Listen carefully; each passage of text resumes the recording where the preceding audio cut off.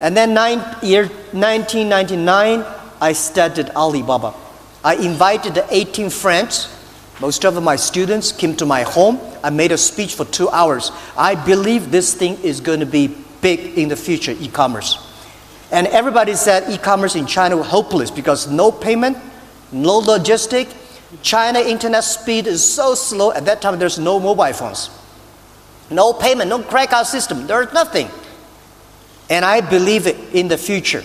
Internet is going to change China.